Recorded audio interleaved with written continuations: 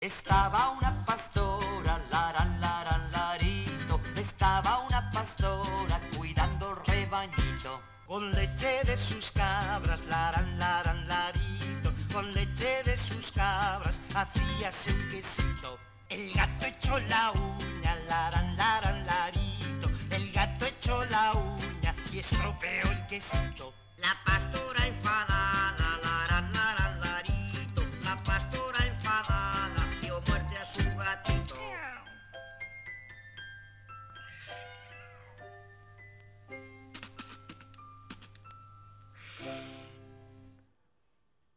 Yo soy un hombre traumatizado.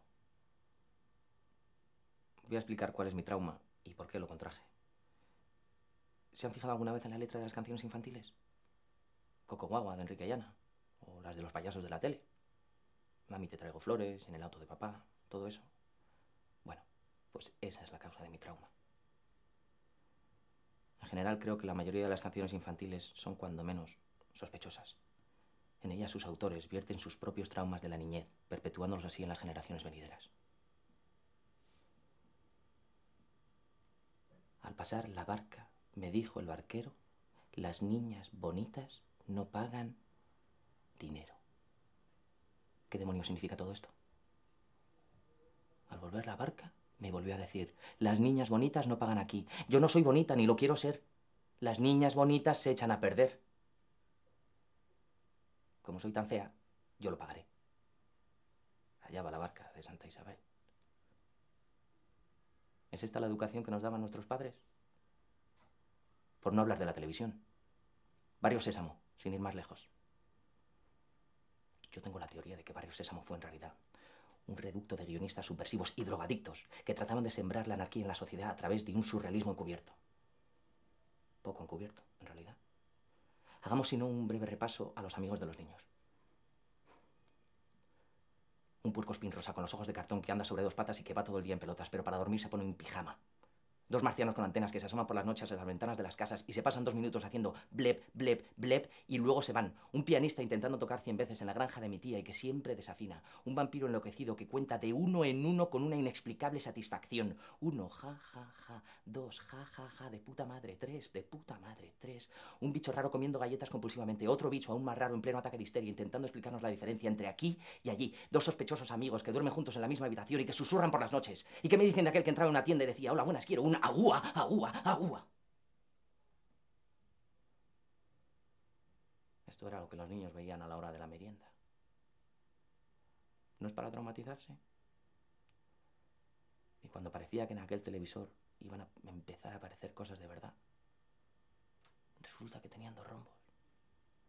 Dos rombos que significaban que teníamos que irnos a dormir. Por las noches yo pegaba la oreja a la pared y escuchaba desde la cama los diálogos de Suelen y de JR. Y lo entendía todo.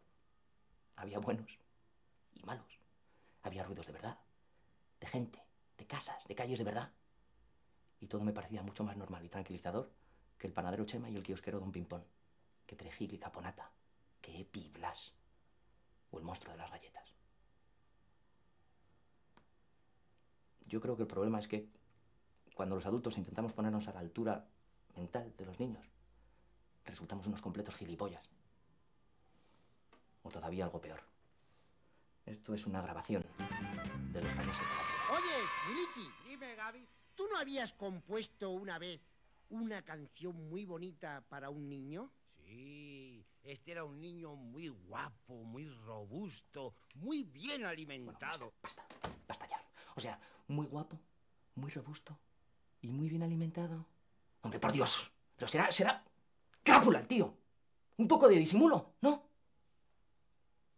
Verán, yo no sé si es un complot, pero evidentemente formo parte de una generación de jóvenes traumatizados por culpa de la televisión y de las canciones infantiles. Y eso que en mi generación, en mi época, no existía el manga y casi no había videojuegos. Probablemente alguno de ustedes tenga hijos o alguno de sus amigos. Un día de estos, dediquen media mañana a contemplar los productos culturales infantiles y piénsenlo de nuevo. ¿Es esta la educación que quiero para mis hijos?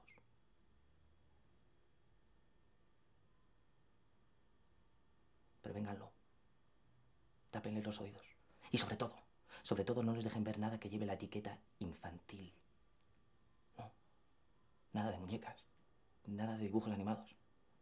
Nada de concursos infantiles. Solo cosas para mayores. O acabarán como yo. Traumatizados.